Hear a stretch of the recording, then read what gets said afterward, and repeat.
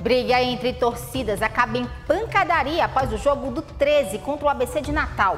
Homem fica ferido após desabamento de estrutura metálica em obra. Mais uma morte por suspeita de dengue é investigada na Paraíba. E ainda o feito histórico do Souza na Copa do Brasil.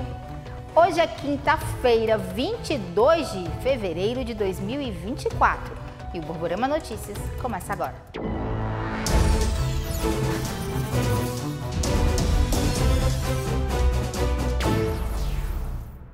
Olá, boa noite. A gente abre o Borborema Notícias de hoje mostrando cenas lamentáveis de violência ocorridas após o jogo entre 13 e ABC de Natal pela Copa do Brasil. Um homem ficou ferido e precisou ser socorrido para o Hospital de Trauma aqui de Campina.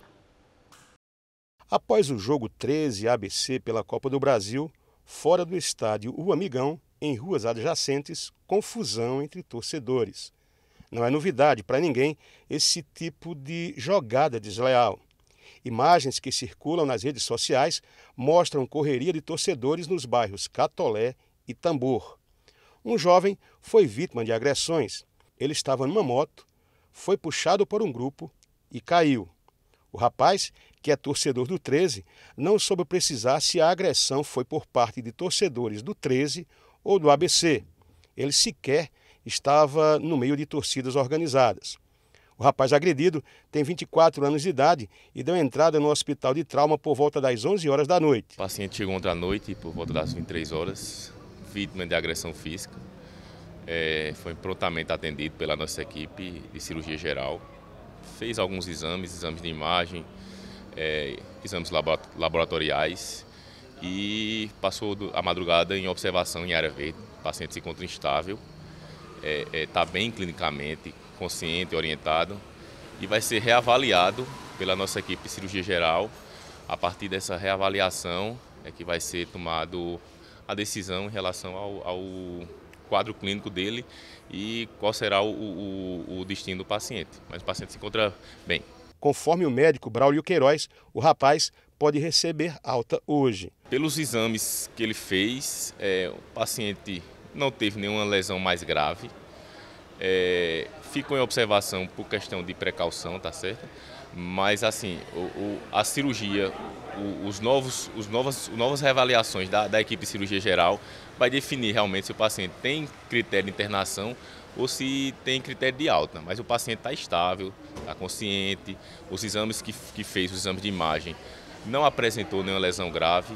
Então, assim, o paciente possivelmente é um paciente que é, é, possa ter alta nas próximas horas. Olha, foi preso na manhã de hoje um homem de 31 anos suspeito de integrar uma organização criminosa aqui em Campina Grande, ligada ao tráfico de drogas. A prisão aconteceu no bairro do Santo Antônio, como você está vendo aí nas imagens que foram cedidas pela Draco. Olha, a estrutura metálica de uma obra no bairro do Alto Branco caiu na manhã dessa quinta-feira. Um homem ficou ferido. Daniela Pimentel foi até lá e traz as informações para a gente. Não, a gente identificou que realmente a estrutura realmente cedeu não teve como o pessoal segurar, ela veio cair, veio a cair. Uma pessoa acabou sendo socorrida pelo SAMU para o hospital de trauma, ainda tinham outros trabalhadores aqui no local. É, por sorte, eles não ficaram feridos. A, a, informação é que eles estavam na parte de cima. Na parte de cima superior, na parte superior da estrutura. Foi caindo lentamente a estrutura, por isso que não teve, graças a Deus, não teve danos maior com as pessoas, com os trabalhadores. Qual que é a providência da Defesa Civil a partir de agora? A primeira providência é isolar o local. Já isolamos o local, tá certo. Vamos trazer um engenheiro, nosso engenheiro, para olhar qual foi a causa realmente que veio essa estrutura a ceder, como também um técnico para a gente olhar, para analisar e dar o laudo sem nenhum problema. Vamos também identificar se realmente se tem, se eles têm realmente é, documentos daquelas licenças de, de obras e a nossa licença também. A gente vê, inclusive, aqui né, a, parte da estrutura aqui retorcida.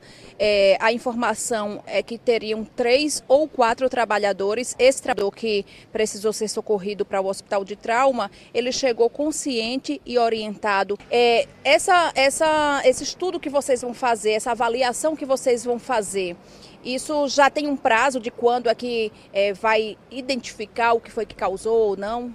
É, vai identificar sim, realmente vai identificar. O engenheiro realmente é o responsável pela, pela nossa estrutura, é o engenheiro Denival. A gente vai trazer ele para olhar realmente se, se realmente se cedeu, se foi realmente é, problema da estrutura ou da estrutura de ferro. Então ele vai saber só com, com o engenheiro e com o técnico que realmente ele vai definir o, o problema da causa que vai a ceder essa estrutura. E aí a gente já, já faz um alerta, a gente já, já começa a se aproximar mais uma vez aquela, aquele período de chuvas intensas e situações como essa não foi o caso de hoje, né? Mas a gente sabe que quando acontecem chuvas mais intensas, com ventos fortes, isso, também pode ocorrer e aí a Defesa Civil né, está em alerta. Estamos sempre em alerta. É, a nossa equipe está de plantão 24 horas, é tanto que você chegou aqui, a equipe já estava aqui, certo? Gente tem aqui 24 horas. O nosso 99 pode informar a população de Câmara está funcionando normal, entendeu? Tem um pessoal já certinho para isso, pode ficar tranquilo, que a gente estamos 24 horas à disposição da população de Campina Grande. Olha, o homem foi levado ao hospital de trauma com um diagnóstico de traumatismo craniano. Ele está sendo tratado pela equipe de neurocirurgia do hospital de trauma e está na ala vermelha. O quadro dele é considerado estável. E olha só, uma carga avaliada em 12 milhões de reais em cigarros contrabandeados foi apreendida em João Pessoa. Os produtos estavam armazenados em um galpão no distrito industrial da capital. Na verdade, a gente tinha algumas informações já desse, desse comércio ilegal que, que é praticado aqui na cidade de João Pessoa e até no próprio estado e nos estados vizinhos. E juntando com informações que obtivemos através do disco denúncia do 197, nós conseguimos aí montar esse quebra-cabeça e os investigadores em diligências localizaram um galpão no distrito industrial aqui de João Pessoa, é, onde foi encontrado, foram encontrados aí dois caminhões de grande porte, é, totalmente lotado de cigarros contrabandeados do Paraguai, além de uma terceira carga, essa já desembarcada, é, também desse mesmo material. Né? Então a gente fala aí de aproximadamente 40 milhões de cigarros, 20, é, 2 é, milhões de, de maços de cigarro, é, carga avaliada em 12 milhões de reais, veículos avaliados aí em mais de meio milhão de reais, ou seja, um, um baque grande aí, uma pancada grande no crime organizado, na célula financeira dessas organizações, que graças ao trabalho e ao empenho dos investigadores aqui das especializadas foi possível realizar com êxito. Essa carga que estava escondida, é, com as informações das diligências que os seus agentes fizeram, é, já teria locais para distribuição? Essa carga sairia daqui para onde? Para algum estado? Porque a carga é grande demais para ficar só aqui na Paraíba. É, exato. Isso aí só a investigação de segmento é que vai revelar. Né? Então, é preciso se dar novos passos, passos, aprofundar essa investigação, inclusive na parte que cabe em atribuição à Polícia Federal. É, e também é, algumas conexões de nomes que possam surgir, até com a Receita Federal também, que geralmente faz apreensões a nível de Brasil. Então, todo esse quebra-cabeça, todas essas informações precisam agora serem agrupadas numa investigação mais profunda para que a gente possa revelar não só a autoria, mas também os destinos, os, os compradores, ou seja, toda é, é, a logística que essas organizações criminosas têm usado para trazer um volume tão grande de material e de dinheiro. Deixa eu agradecer aqui ao doutor Carlos Oton, que está aqui também. Deixa eu conversar com o Lucas Sá. Doutor Lucas Sá, uma apreensão gigantesca como essa, eu não tenho dúvidas que faz parte aí de uma organização criminosa, né, toda essa carga. Né? Exatamente, já é conhecido, na verdade, é, infelizmente já é conhecido da população, contrabando de, de cigarros, cigarros que vêm de outros países. As rotas são diversas, muitas rotas são terrestres, algumas rotas são até pelo mar e muito difícil esse tipo de investigação. As fronteiras do Brasil são enormes, né? Mas o que é preciso destacar, porque por que esses produtos são ilícitos? Principalmente porque eles são, são fábricas que não são é, não seguem padrões padrões internacionais aí de, de saúde. Então, um cigarro com certeza faz um mal muito maior à saúde do que os cigarros que são fiscalizados. É, tem situações de trabalho escravo na produção desses cigarros e principalmente também a situação tributária são cigarros que entram aqui no Brasil sem pagar nenhum tributo, gerando também a concorrência desleal com as empresas de cigarro. Então, todos esses fatores fazem com que os, o cigarro seja, esses cigarros foram apreendidos e quadrados no crime de contrabando, mas isso só é possível porque eles atuam de forma organizada, então tem a organização criminosa, e esses lucros criminosos certamente são lavados depois, tem a lavagem de dinheiro, então são muitos crimes aí envolvidos, fazem com que o aparato logístico deles seja enorme, é tanto que eles têm aí, pelo o que demonstra, são caminhões novos, caminhões modernos, caminhões aí robustos que é, são utilizados para esses crimes. A seguir, Paraíba tem mais um caso suspeito de morte por dengue e ainda Cine Capitólio deve ser entregue e revitalizado em novembro.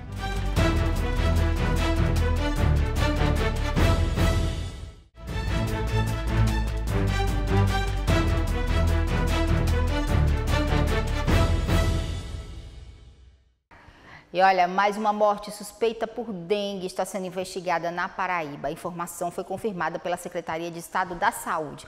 Quem traz as informações para a gente é Daniela Pimentel. A confirmação da investigação de uma segunda morte por dengue aqui no estado da Paraíba foi feita pela Secretaria de Estado da Saúde nesta quinta-feira, uma semana após a divulgação da primeira morte por dengue em 2024 no estado. O novo caso em investigação foi registrado no município do Conde e trata-se de uma mulher de 42 anos com diabetes, hipertensão e doença hematológica. A primeira morte por dengue confirmada este ano no estado foi de uma jovem de 24 anos, moradora da cidade de Camalaú.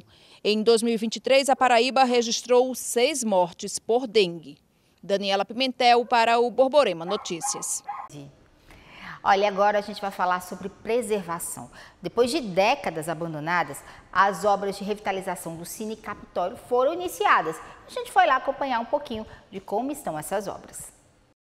O Cine Capitólio já foi o ponte da sociedade campinense. Inaugurado em 1934, o equipamento era palco de eventos teatrais, festas e até discursos políticos. Ele foi um cinema feito para a classe A, que era o Cine Capitólio, com mil lugares, então com todo o glamour de um cinema, que era um cine-teatro. Naquela época não era somente cinema, também ali haviam shows de jazz, ali, ali haviam também cantores líricos que vinham se apresentar, e até peças teatrais também aconteciam no Cine Capitólio. Então ele atravessou esse período de, de, de, de glamour, de, de é, esse período áureo de Campina Grande. Na década de 90, o Capitólio se transformou em cine pornô e pouco tempo depois entrou em decadência. Ameaçado de demolição, ele foi tombado no ano 2000 pelo Instituto do Patrimônio Histórico e Artístico do Estado da Paraíba. O reconhecimento não impediu que o local fosse abandonado e virasse ruínas. Destroços que há dois meses começaram a ganhar nova forma resgatando parte da história da cidade através do projeto de requalificação, onde oferecerá atividades voltadas para os estudantes da cidade com o Capitólio Educação. Primeiro, com fins pedagógicos através de abordagens de documentários, de filmes, de, todo, de tudo o que uma tela de cinema pode propiciar em termos de aprendizagem. Mas, além disso, também teremos o anfiteatro para apresentações culturais. O espaço servirá para a formação dos profissionais de educação, desde os nossos professores, a técnicos, a todas as equipes que trabalham nas escolas e creches do município. Com a grande biblioteca, que será a maior da rede, também para estudo, para pesquisas, além de salas de estudo e salas multifuncionais para o uso desses estudantes. As fora, quem viveu o Cine Capitólio lá atrás, fica na expectativa ah, vai ter alguma coisa que, que seja aberto para o público em geral? Vai ter alguma atividade, alguma programação que seja voltada né, para o público da cidade? Vai sim, principalmente nos finais de semana, onde naturalmente a rede educacional é, vai usar menos, como também no período noturno. No espaço, as obras seguem em ritmo acelerado, com homens e máquinas trabalhando intensamente. A previsão é que a obra seja concluída e entregue até o final de novembro. A previsão é para o finalzinho do ano, ainda no mês de novembro, ou seja, ainda em 2024, o primeiro cinema da educação do Brasil vai estar sendo entregue aqui em Campinas. Mas a gente olha assim e falta muita coisa. Sim. Vai dar tempo? Vai sim. Por quê? Porque primeiro está sendo feita essa parte da base, da fundação. Né? Claro que com todo cuidado para a preservação de paredes que são históricas. A partir disso vai vir uma estrutura metálica que representa uma parte significativa da obra. E essa estrutura metálica ela já está sendo providenciada. Então, primeiro cuida da base, que é esse primeiro instante, eles já estão aqui há 60 dias. Após essa base cuidada, vem aí essas peças metálicas que vão ser juntadas ao restante do equipamento e depois vem para a fase de acabamento. E aí é onde a obra vai ter a sua evolução perceptível mais vista. Olha, o Senai da Paraíba está com inscrições abertas para mais de 200 vagas em cursos gratuitos aqui em Campina Grande. E atenção para a oportunidade, o Senai está oferecendo quase 200 vagas para cursos gratuitos aqui em Campina Grande. As oportunidades estão sendo ofertadas no Centro de Tecnologia do Couro e Calçado Albano Franco. E a gente vai trazer agora para vocês a lista das vagas ofertadas.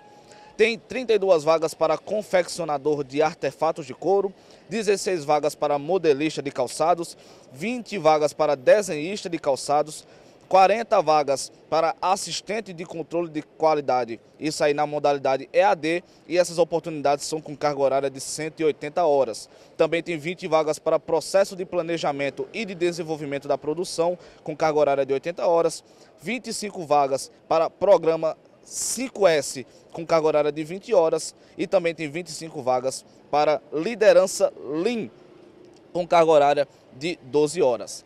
Os interessados podem consultar o Senai de duas formas, de forma presencial na, Lua, na rua Luiz Mota, número 200, no bairro de Bodocongó, ou através do e-mail que a gente está colocando aí na tela, que é o contato ctcc.fiepb.org.br contato ctcc@fiepb.org.br. Os interessados aí nas vagas devem se inscrever e estar portando RG, CPF e comprovante de residência. E caso o candidato seja menor de idade, o responsável também deve estar portando RG e CPF. Para mais informações, os candidatos interessados podem ligar para o telefone 83 3182 5500. A seguir, a gente fala dos gols da Copa do Nordeste e ainda o feito histórico do Souza na Copa do Brasil.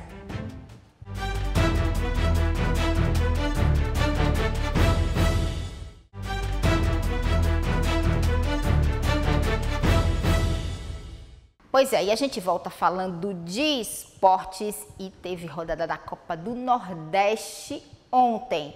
Pois é, e quem traz pra gente todos os detalhes da Copa dos Clássicos e dos gols é Gabriel Cine. A rodada foi aberta com vitória em Náutico no Barradão e a partida terminou empatada em 1 a 1. O primeiro tempo terminou sem gols, mas logo no início da segunda etapa, o atacante Evandro abriu o placar para o Timbu após a bola ser cruzada na área e ele completar de cabeça. O jogo seguiu assim até os 48 minutos, quando o meia Daniel Júnior empatou para o Leão após pegar a sobra de um cruzamento e experimentar de fora da área. No Castelão, em São Luís, o Maranhão recebeu a Juazeirense e venceu por 2 a 1. Mas quem abriu o placar foram os baianos, com o meia Pedro Henrique, com um chute dentro da área aos 17 minutos do segundo tempo. Os gols do Maranhão vieram também apenas na etapa final. Vinícius Barata empatou aos 26 minutos após falha na zaga da Juazeirense. E o atacante Capote deu tons finais ao confronto ao aproveitar mais uma falha da zaga e garantir a vitória do Maranhão. O último confronto da noite foi o duelo dos Leões que você pôde acompanhar na tela da TV Borborema. O esporte recebeu o Fortaleza na Arena de Pernambuco e o confronto terminou empatado em 1 a 1. Quem abriu o placar foi o Leão do Pici aos 45 do primeiro tempo. Em uma jogada de contra-ataque pelo lado esquerdo, Moisés puxou para o meio e bateu no canto do goleiro Kaique França.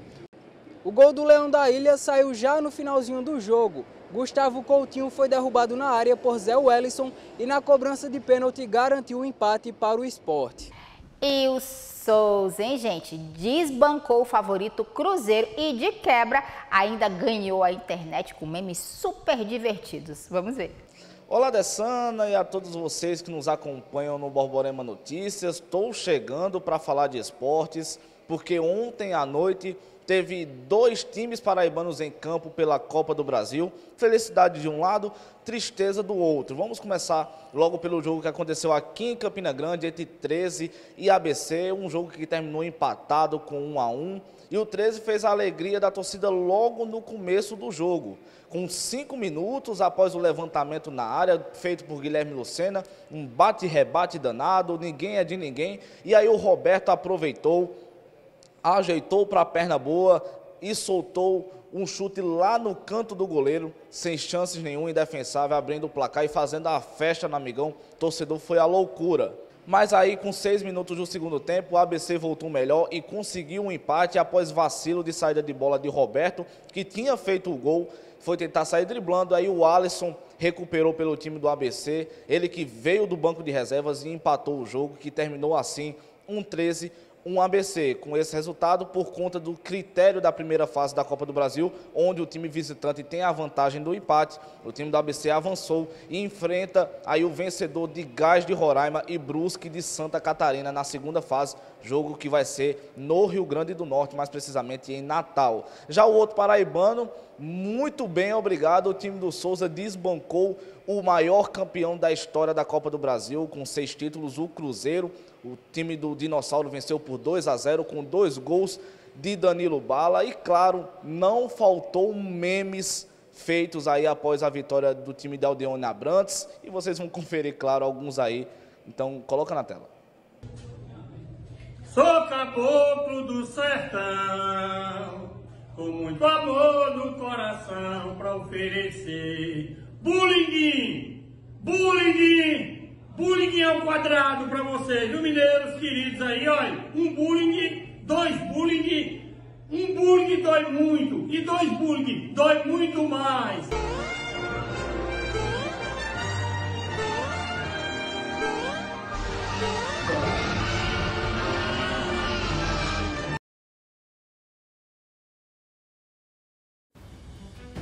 O Borborema Notícias vai ficando por aqui. Você assiste agora o SBT Brasil. A gente volta a se encontrar amanhã. Tô te esperando, hein? Até lá!